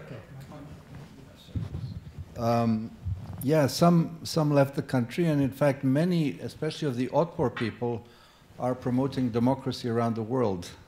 Uh, they used the experiences of NGO activism, etc., and are working for various international uh, agencies in Africa and Asia, and uh, so they've used their their knowledge well. Uh, quite a few of them went into business uh, which is also interesting, uh, and some remained uh, loyal to, to their you know, political leanings, so we, we find them there. Uh, who inherits them to the list? Uh, I would add definitely human rights NGOs, investigative journalists. We have several organizations which are doing really good work in the absence, unfortunately, of a public prosecution. Uh, that is not good. And I would add that some of you who follow our situation in Serbia closely saw that two public prosecutors were uh, relieved of their duties, and there's there's been a genuine protest against because the judiciary is very weak and not really independent. People know that they're ready to bear a certain level of this. But I think this is the straw that broke the camel's back, the ousting of these two women, and uh, the and that is to to what uh, to the question about is Djindjic's model of reconciliation something to follow? I think it is. He was well aware, and thank you, Sofija, for quoting him. I think it's very important. There was a conference on issues of confronting the past on December 2000 one, I, if I remember rightly, where we had people like Timothy Garton Ash come, where Alex Boraine from South Africa came to talk about the South African uh, experience, and especially in establishing the independence of the judiciary, which is crucial in uh, setting up the institutions necessary to confront the past, full well realizing, and this is again where you said the German experience was crucial, it takes a long time. I mean, the monument to the Holocaust in Berlin was built 45 years after what happened. So these things take time, which is no justification not to do the work of reconciliation, and much more needs to be done.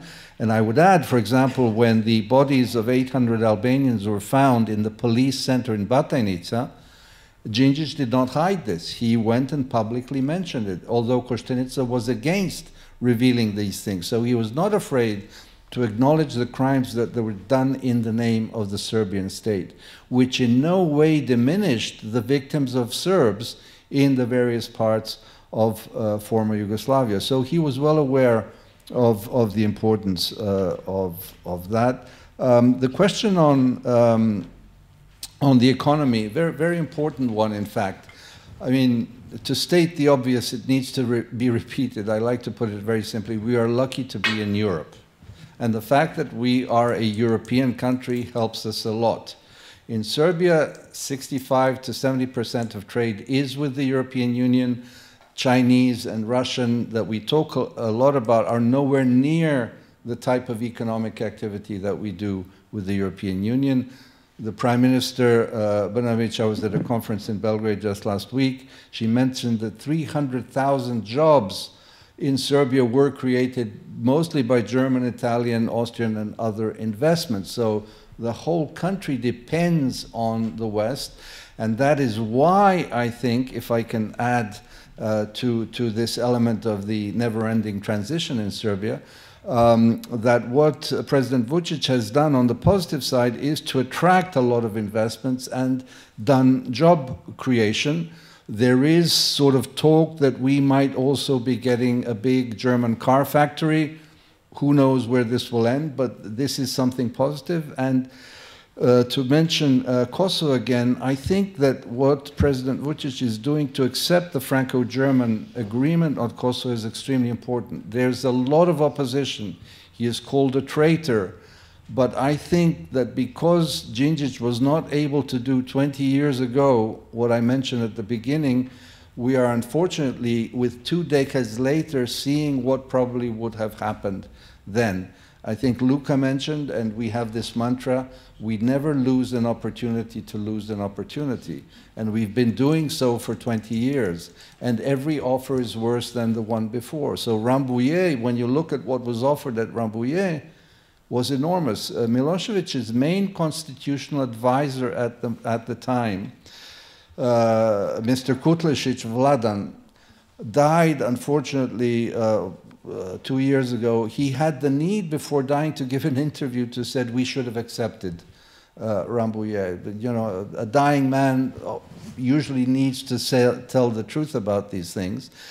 And so I think that even though President Vucic is being attacked both by ultranationalists and by some people in the opposition, that there's no way forward for Serbia because of the economic, and this is where it links up, Serbia will not survive. Well, you know, when people ask what is the alternative to the European Union, you know, it's kind of uh, intellectually wrong to say there are no alternatives. Well, yes, there is an alternative. It's self-isolation and the, the, the, proverbial eating grass, like Albania did in the 60s, linked to China and building bunkers, thousands of bunkers. That's the alternative. So I think if, if one wants to put a sort of positive uh, spin on some of the, uh, the geopolitical developments, quote unquote, thanks to Mr. Putin, there's been a realization that Europe has to wake up to its need to help this region move forward and come out of the lethargy of allowing the region to live on even though basically there's no problem with it. No, we have to solve this because it's a European security issue. Thank you, Mr. Vejvoda. Alida, yeah, the reconciliation. I yeah, I would like to pick up on that and maybe on economy, which is an interesting one because I, I really think it's crucial. Um, it's true what Ivan said that we are absolutely um, leaning towards the European Union. If you look at the banks that are operating in the region, 80% of these banks are owned by German or, or Italian or Austrian banks. If you look at the, the, the companies that are coming via FDI, this is all European companies. But we have to be careful not to attract any type of companies because what mostly we end up with in the region are the jobs that are paid 300 euros. And this is not something that is desired, and this is definitely not going to take us to the convergence. Uh, in Serbia, uh, luckily, there are other options too, because Serbia is an, an, actually a front runner, maybe also European Union, but front runner in terms of um, in terms of IT technologies. And there have been many companies that are actually developing really high quality software attracting many people also from abroad. Um, and this is something that has been uh, happening already for five, six, seven years. And I think this is exactly the type of, of, of sort of uh, well paid jobs that would attract not only people to stay in Serbia, but also attract people from abroad. Another point there, um, given the, the size of diaspora of the Europe of the Western Balkans, which is very large, it's it's eight to ten million we have to st start speaking seriously about diaspora direct investments that are somewhat different from foreign direct investments. Because when when when they come you actually have a know-how that stays with you unlike with the FDI so it's it's it's there are lots of different options that we haven't I think even investigated as much that could help region uh, sort of catch up economically with the rest of Europe. As for the reconciliation it's a tricky one. We have done um, all sorts of projects. I've been part of many, many different things since 20 years of transitional justice. A part of the war crimes chamber that I've been, working at also had this transitional justice line, and many people have been working on it. Um, the thing is that we not non, don't necessarily see everything, and what I mean by that is that bottom up there are things happening there are, you know, children visiting another children's schools are sort of cooperating. Uh, there are all sorts of programs that, that allow, uh, you know, kids to have very frank, open, and very difficult discussions that are basically moving us ahead. At the same time, if we talk about um, you know top-down sort of uh, messaging that we're getting at the moment from the region, I think you're right. It's it's not where we want to be. I mean, we're still discussing whether Mladic is a hero or he's a war criminal. So that kind of um, you know that that kind of um, sort of narrative certainly doesn't contribute to reconciliation itself. Thank you. Thank you, Hannes. There was also a question about the EU. Yeah, uh, briefly on the economy, much has been said. I think what is important is also the fight against corruption. Now, we know also in Austria that it is important in our own country, so it's not an issue where we can say only show to the others. But I think it, this is a very important element. We, we, well, in the extreme, we saw in Russia how uh, this corruption and these mafia structures supporting uh, authoritarian leaders is, is uh, really bad. We see it in Hungary, and we see some connection between Hungary and Mr. Orban and Mr. Vucic also on this issue. So I think fight against corruption is a very important element uh, uh, in promoting uh, transparency in the economy. On the reconciliation, I think, uh, as just has been said, something is going on. Um, it needs a lot of time, but I think we do not do enough. And uh, especially the European Union should do more on it. If you look to the budget and look to the to the decisions of the European Union, what has to be done and what is done, it's not enough. I had the honor to follow Erhard Busek as president of an institute in, in Saloniki, where we uh, produced these school books uh, where we presented different uh, versions, so to go against the nationalistic uh, interpretation of uh, historic events. How much are they used? Well, I don't know. Uh, it's not so much. And I think what happened in school, and when we visited the last time also Bosnia Herzegovina, uh, where still they have this kind of separate school or even separate teaching under one roof. And also in Kosovo, you know, where the world, the, the one learn only the Kosovo Albanian history and the other the Serb uh, history. This, this should be stopped. Uh, one should overcome that because that perpetuates this nationalistic orientation, nationalistic views, and is working in a way against reconciliation. But that's not only for Serbia, it's uh, for most of the countries. Um, on the media, unfortunately not, but it is of course very difficult how the EU should uh, promote alternative medias. Now, something should be done. We hope that with the social media things will be better. I doubt, because sometimes even the social media are used to promote uh, very nationalistic tendencies, and they are they are easier to be promoted. You know, the negative uh, and the attacks on the others is easier to promote and is much more seen than the positive elements.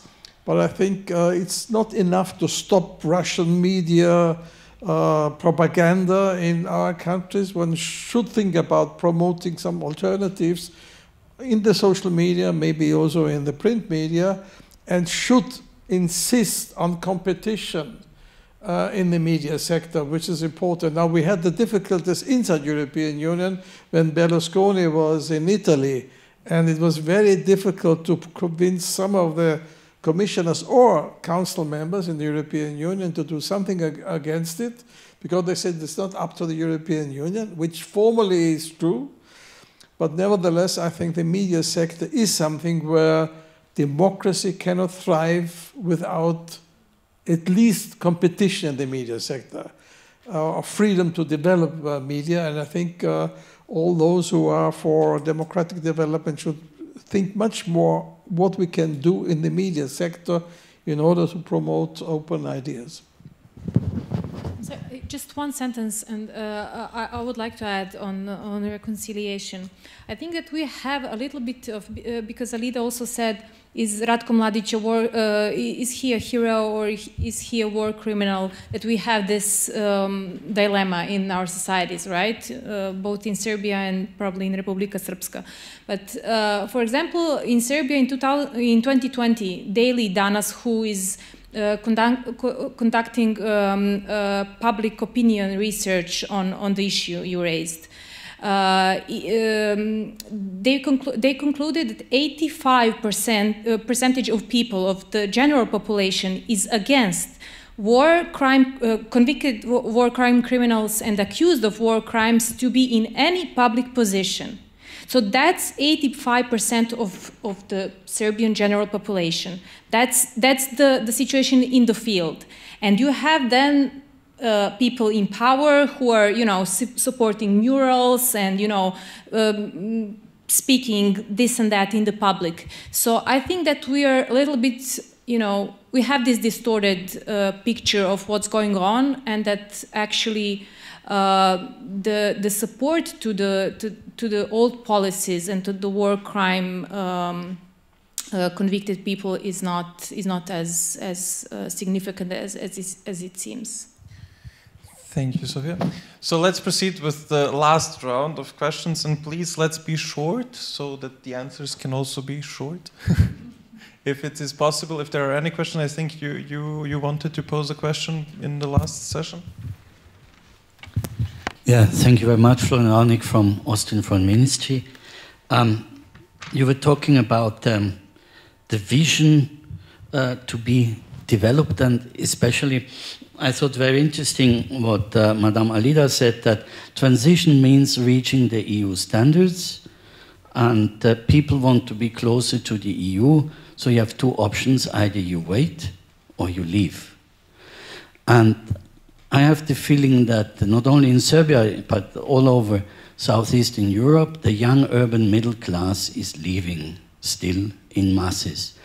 And this is, let's say, the, the society group, the group of the, the societal group that you need for transition. You were mentioning, on, and also Ivan said that now there are being promoted new investments, uh, interesting investments, also in the IT sector, you said.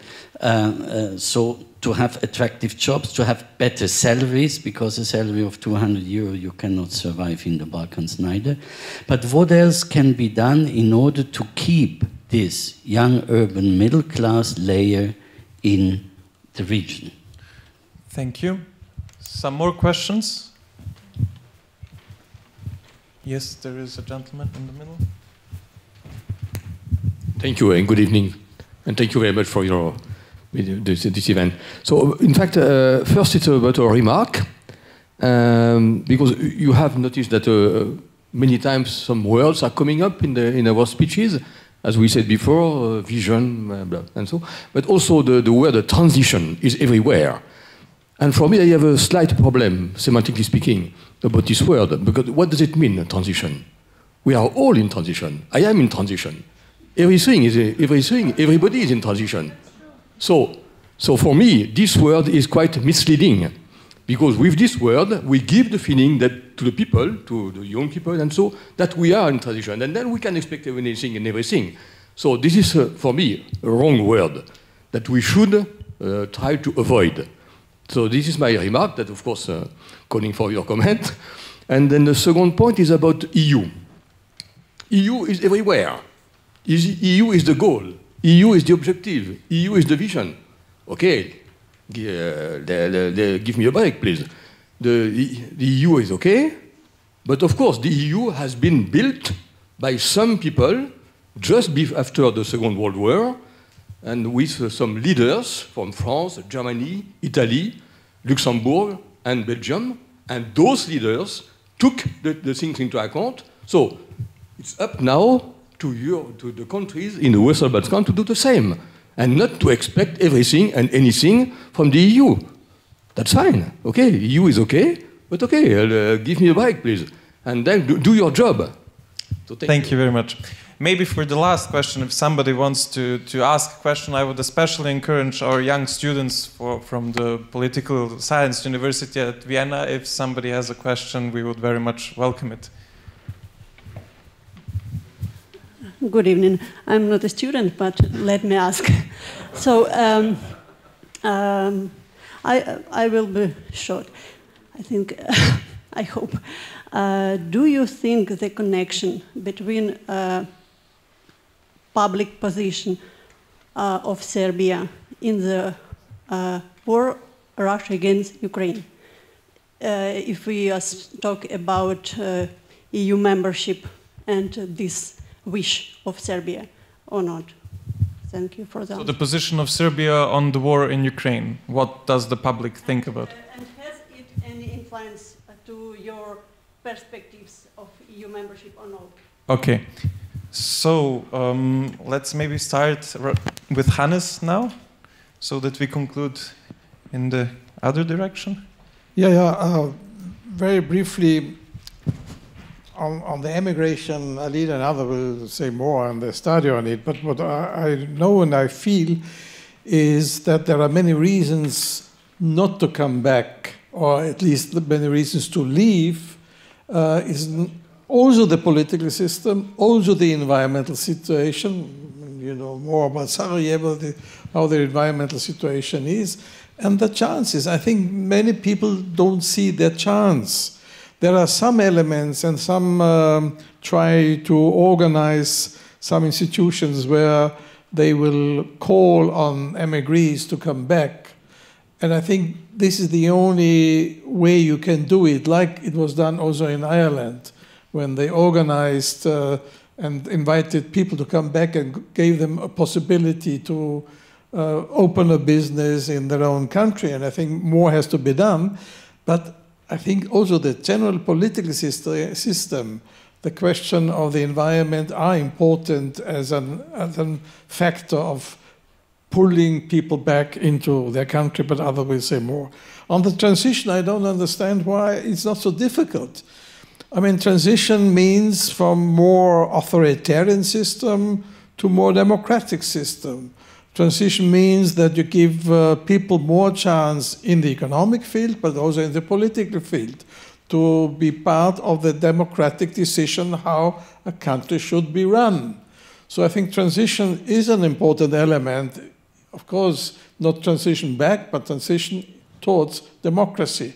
And there are many studies uh, that it is clear that democratic systems avoid more um, in, in development is more uh, hunger, more poverty, uh, democratic system uh, give more people a chance to develop their life in a way they want to develop it. So I think it's quite obvious that democracies are not only an abstract element we should strive for, but give people more chance. And therefore, transition towards democracy means more chance. It does not mean everything is solved by from one day to another. So transition, I think, is an important element. To the last question, I think what is important, and this is, uh, we didn't speak too much about it, but um, is that the alternative which Russia is promoting, which Russia is delivering, uh, also to, in the Balkan countries, is a vital element of the future of the region of any country. I think it, it must be very clear uh, we have difficulties in, in the global, so-called global south to convince countries, India, I don't speak about China, but India, South Africa, Brasilia, to condemn the war in Russia. There are many reasons why it is difficult. But is, is the, the Russian war against Ukraine. But it is not acceptable that in the European on the European soil, in the countries of the region, we accept that you do, you do have at least an ambivalent attitude towards the Russian uh, war against Ukraine. Because it's not only about a country, it's about a system, it's about an ideology, it's about an attitude. And uh, those countries and those leaders who support Russia's war in Ukraine, or are more or less ambivalent at least, have an ambivalent position towards democracy. It's very clear. And therefore, for me, um, it is a vital issue of discussion between European Union and Serbia. It does not mean that uh, Serbia has to cut all the ties to Russia, but it does mean that Serbia must at least have an attitude on economic sanctions in the way on, on dealing with Russia in a way what we expect to follow the European line. That's uh, my position at least. Let me pick up on, on immigration um, point. I mean, thank you for raising it. It's, it's kind of evident, isn't it? Every time we speak about the region, this, this comes up as, the, as one of the first things. Uh, I don't know how much you know about the numbers, but numbers are quite staggering. I mean, every single country in the region loses approximately one big city every day, every every year. So we're talking about anything between 20 and 40,000 people leaving. And, and initially, people started believing, uh, started leaving because they, you know, there were economic factors to it. But more and more other factors started kicking in, such as pollution, environmental sort of reasons, but also disillusion with, with the with the whole kind of uh, transition process that we're going to get back to. Um, so what, what basically that means? That means that um, country not only loses people because you can only do that much with immigration. If you're a small country, there are other countries that will definitely attract your people if they're offering better, better conditions. And here I'm referring to Germany, for example, that just recently, a couple of days ago, announced that every single year 500,000 new people will be needed in Germany in terms of workforce. That workforce has to come from somewhere. I mean, refugee crisis in 2015 was actually quite convenient for Germany. And if you look at the numbers, quite few of these people have been integrated and they're paying taxes at the moment. Other people, other source that countries such as Germany needs comes from the Western Balkans. It's also very convenient because you're actually not only losing people, but they're, they're taking with themselves thousands and thousands of euros in education because they have been educated, they have been gone through the primary school, secondary school, universities, master degrees, and that has been financed by, the, by, by all these countries in the Western Balkans, and then they go to Germany, they, they learn the language, and they basically find a job. Uh, there are many options, and we should, um, we should really uh, be realistic about it because you can do only that much given these uh, these factors. But there are different options that other countries have done. I've been studying Ireland for that matter because it's a really interesting place. It's it's a, it's not as large. It's an island. Uh, many many uh, uh, Irish people left to, to, to, to America, to Australia, and elsewhere and they started attracting attracting them back uh, by offering different types of jobs 21st century jobs that was the first thing second thing is that they offered a somewhat more flexible arrangements meaning circular migration so you can sort of live and enjoy benefits of your job somewhere in Western Europe, but you can still come back and, and contribute one way or the other. If you're a professor, you will come back and you will have a lecture. If you're a doctor, you can have operations. There are all sorts of different modalities how one does that.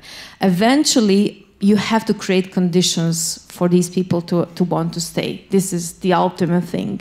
And then we go back to the economics because economics is, is, is really the core of it because people need to see that they can that they can be part of the the, the, the, the you know the, the, the same sort of family as the European family. I think culture is also a great, great um, sort of neglected point because people do want to enjoy the same cultural sort of life uh, in their own countries in order to, to stay there. This is this is an, an ex extremely important element for young people, environment as such, and how much we care about it. These are all elements that, that come with the transition, and that gets me to your point, what the transition means. For me, transition is basically exiting the periphery, which is culturally deprived where you don't have as many museums that you want, as many exhibitions that you want, as many uh, media pluralism that you want. It's, it's the economics, it's social. And going to the core, going, going closer to where you actually can find that when you travel and when you, when you see it, when you travel abroad. This is the, the transition that, that basically translates very simply. And then within you have all these reforms that we have talked about for two hours now that basically entail the entire process. Thank you, Alida. Okay, now we're just starting to have fun and we have to leave. Uh, so, uh, so um, on, the, on people leaving, uh, I would maybe uh, try to bring a little bit um, of different perspective. Um, my, for example, my daughter is eight and she goes to school where uh, uh, mm, parents are already saying to their children, you should leave this country. Like, you know, as soon as possible, you should leave. We're talking about um, children who, are, who just entered the elementary school. Uh, so this, this um, how to say, this I would say openly pressure from from the from, from parents to to like uh, pushing uh, um, your own children to leave because there is no perspective and you and you in the same time you're not opening um, uh, you're not supporting your own child to, to, to see that there is some alternatives, that you can fight for your rights, that you can do something in your own country. And that's how I try to, to raise my child, like to say, you know, that, that's, not the, that, that's not the solution just to leave, because wherever you go, you will find some problems. And um, I think that there are uh, economical reasons, of course. Uh, uh there is like... Um, there is the issue of, of happiness like where, where do you feel happy in this in, in some um, uh, EU country where things are really like set and you, you don't have to go to the streets every day. I, I really, I understand that, but I, I also think that the people are leaving because they don't have trust in their, in their own power, like to fight for themselves. And I still see uh, some people who, who have that, that you know, uh, that urge to, to, to fight for themselves. And I don't agree with the general narrative where there, there is this narrative like the best people are leaving. No, I just think that those who are leaving, they're, they, they're happy in some different kind of way in some other place and it's fine. It's not something that we should condemn. Uh, I, I, think it's, it's just how it is and that we shouldn't uh, like um, try to keep them if they want to leave. If they want to leave, that's, that's totally fine. And on, on transition and EU, I think I understood you and I agree with you. Those are like the buzzwords that we use for uh, like uh, more than 20 years. I don't hate them, but I tried not to use them. I, I, th I think I didn't say transition uh, the, the, this evening. Uh, uh, I didn't use it because I agree, we are all, all transitioning, we are all dying, we are all, right? It's, that's the fact of life. And Serbia has its own transition uh, uh, from like, uh, there is a great book about Serbian political parties uh, from, uh, um, from Latinka Perovic, like from anarchy to autocracy. So we are like, we have our own internal 200 years old transition from anarchy to autocracy and now we have to move towards democracy and it's our own thing. I, I, totally agree. We can lean on eu a little bit but we cannot expect from the eu to do that for us. So i think that yeah it's not like the transition in terms of uh, how we use it in, in public life it's, it's, it's really superficial. It's actually something much deeper than that, and it's in each and every society. Uh, and on war on uh, uh, between Russia and Ukraine, actually, the Russian aggression, I think it's a moral issue. I think we should say it's unacceptable, and that's it. I'm not an expert, but as, an, as, as a citizen, I would, I would expect that from my government. Thank you, Sofija. Ivan? Uh, yeah, let me start with, with demography, and I think we can't overstate the issue, as, as Alida just said. You know, we, we've talked over these past two decades that we're, the Western Balkans is a region of 18 million. I think we're below 16 million now, in real terms, uh, because of the loss of population. Serbia officially has half a million, less than 10 years ago. In fact, the, some of the statisticians have said 750,000 less. Macedonia has 250,000 people less. Bosnia is probably around 3 million. In 91, it had 4.2 or 4, I can't remember. Now it's less than 3. Now it's less than 3. This is a dramatic issue in every regard economic, cultural, educational, political. Our populations are aging. Uh, our friend Ivan Krastev always talks about this in terms of what this this mean at the election and ballot box uh, when you have less people. And by the way, the biggest item in Serbia's budget are remittances.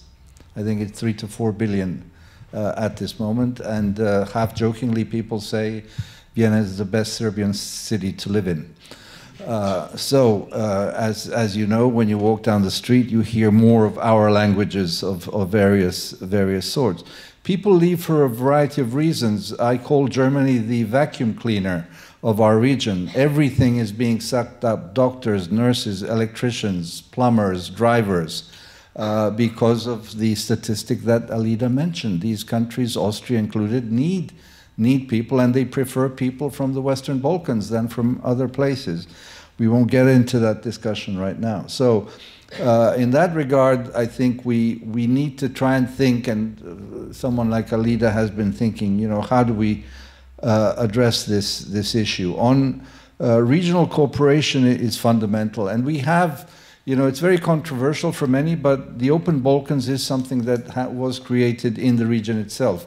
It has flaws, it's imperfect, not all countries participate, but at least relations between Serbia and Albania haven't been better historically than they are at this moment. And about now 150,000 people from Serbia go to take their holiday in Albania, which was unimaginable uh, 10 years ago. So some things uh, are, are, uh, are working. On the, on the Russian aggression on Ukraine, again, as I mentioned, I was at this conference and the Serbian prime minister used the word Russian aggression on Ukraine, uh, which pleasantly surprised me. By that, I want to say that there is a, that there is a change in uh, some of the statements that are being used by the tabloids and the pro uh, pro government uh, television stations, which means that I think we are moving towards some kind of sanctions. When exactly, I don't know.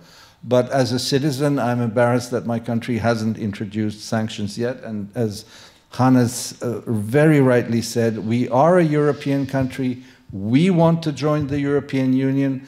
And it's embarrassing that Serbia is the only European country that hasn't introduced sanctions. Yes, Serbia has condemned the Russian aggression, votes uh, at the UN uh, always. And what I didn't know, our Europe Minister Tanja Miščević at this conference said that Serbia is sending electrical engineers to Ukraine to help them with their uh, energy grid. It is giving humanitarian aid. We have uh, Ukrainian uh, refugees uh, in the country. And also, uh, some of you know, we have about 100,000 Russians in Serbia, Belgrade, and Novi Sad mostly. When you walk the center, you hear these people. These are younger, middle class families, mostly from the urban bourgeois elites, IT, and I would guess most of them anti Russian aggression of, of Ukraine. So it's a, it's a mixed picture, uh, a more complex picture, which uh, one needs to understand. Uh, but as I said, I do expect um, that at some moment, and in fact, the president has talked about it, that Serbia is paying a price for not having uh, introduced uh, sanctions. Let, let, me just end on, uh, on Djindjic uh, again, uh, uh, because I think it, it, it, behooves us to, to, to mention him. he was with someone with the foot on the accelerator of changing and catching up all the time that we had lost. He believed that we could catch up uh, Croatia uh, in joining the EU. He thought back then in 2001 that 2010 was a likely date. Uh, we know uh, what happened to that. But he had Koštunica with his foot on the brake of the same car. And the other thing that we need to remind ourselves, this was a very complex situation because Djindjic was the prime minister of the Republic of Serbia in still a federal state where the Montenegrin government was fully in the hands of Milosevic. Uh, Milosevic's wife was in the federal parliament until February of 2003 when she fled to Russia and where she eventually died. Milosevic's son is still living uh, in Russia under asylum. So I think we, uh, when we judge the, the two, these two plus years, uh, the enormity of things that were done were, were quite incredible given the constraints that were uh, put him. And I think that um, in terms of legacy, as many have said, and I will repeat it, he's still a very, very inspiring figure for all, all of us. Thank you very much, Ivan, for this concluding remarks. And to all our panelists, I would like to thank you for being here and for appreciating this, this panel discussion. Also to the audience. I would like to thank you very much and to encourage you to participate in our future discussions, either it be Eastern Europe or Southeastern Europe or the Balkans or on other topics. Please look upon our website and inform yourselves and come. Um, our cooperation partners, especially to mention Karl Renner Institute and the OIIP, thank you for always being here with us for the Western Balkans Initiative. I would like to close this panel by just one quote of Zoran Djindjic. And he said, we need to grow up as a society and to pay the price of this growing up. And this is a statement which I would like to conclude this session. And thank you very much. Snacks, wine, everything is outside, so please enjoy yourself.